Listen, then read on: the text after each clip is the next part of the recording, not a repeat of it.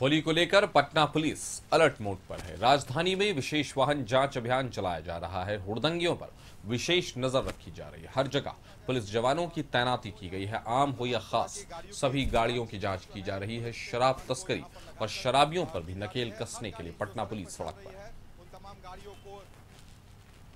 आपने देखा होगा, कल होली का दहन था तो जो पुलिस की गाड़ियाँ थे तो वो काफ़ी तैनात थी, चुस्त दुरुस्त थी।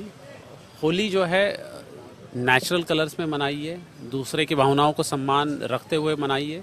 विधि व्यवस्था अपने हाथ में नहीं लेना है। यहाँ पे आदर्श आचार संहिता भी लागू हुई है। तो निर्वाचन आयोग के जो दिशा निर्देश है, उसके आलोक में हमको होली मनानी चाहिए। साथ ही में जो है, अगर कोई शिकायत आपको मिलती है तो त्वरित जिला प्रशासन को कंट्रोल रूम में आप दे देंगे। तो निश्चित जो है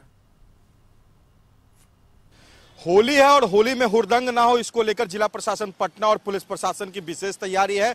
पटना के कई जगहों पर चिन्हित कर जो है, चेकिंग अभियान लगाया गया है ताकि इस दौरान जो है, किसी तरह की कोई गतिविधि असामाजिक तत्वों की तरफ़ से की जाए तो उसे रोका जाए। देखिए कार हो या ऑटो हो, तमाम तरह की गाड़ियों की चेकिंग जो है, पुलिस के जवान को यहाँ पर लगाकर की जा रही है। हर गाड़ी जो सड़क पर चल रही है, उन तमाम गाड़ियों को चेक की जा रही है। डिक्की से लेकर जो है, उन गाड़ियों में कुछ सामान अगर रखे रखे हुए तो उन तमाम चीज़ों को लेकर विशेष निर्देश है। देखिए पटना पुलिस के तरफ़ से जो है ये खास चेकिंग अभियान जो है पटना के बीच सड़कों पर लगाया गया है। अमूमन इस तरह की जाँच नहीं होती है, मगर इस तरह के सघन जाँच की इसलिए ज़रूरत पड़ जाती है कि ताकि जो कहा जा सकता है कि शराब, तस्करी हो या किसी तरह के वैसी चीज़ जो है ना ले जाए तो इन तमाम चीज़ों को लेकर देखते हुए ये पटना के सड़कों पर जो है वो चेकिंग अभियान की जा रही है। पटना पुलिस के विशेष निर्देश पर जो है ये अभियान चलाया जा रहा है। सरकारी गाड़ियों को भी जो है नहीं छोड़ा जा रहा। देखिए, विधानसभा का स्टिकर लगा हुआ है, उसके बावजूद भी चेकिंग हो रही यानी